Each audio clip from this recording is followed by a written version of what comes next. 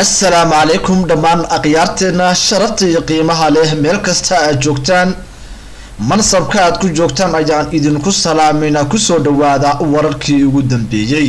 Madaxweynaha dowladda federaalk soomaaliya mudane xasan sheekh maxamuud oo ka hadlay masjid ku yaalla gudaha madaxtooyada ayaa ugu baaqay somalilan in aysan awood ciidan u adeegsan bulshada ku nool magaalada laascaanood madaxweynaha oo ka hor hadlaya sad u badan. Madaxda iyo shaqaalaha dowladda ayaa sheegay in ay tahay in nabad lagu xaliyo xaalka magaalada ka taagan.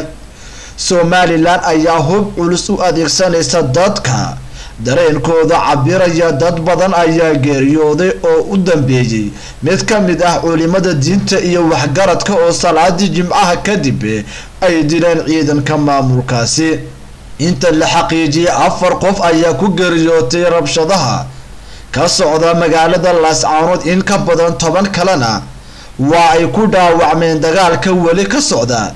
Magaaladaas rabshadahan iyo dagaalka ay kala hortagtay somalilan ayaa ka bilowday dilal aan la aqoonsan cidda geysatay oo lagu hayo hal doorka magaaladaas lama oga waxa ay xaalada laascaanood ka bedeli doontaa hadalka.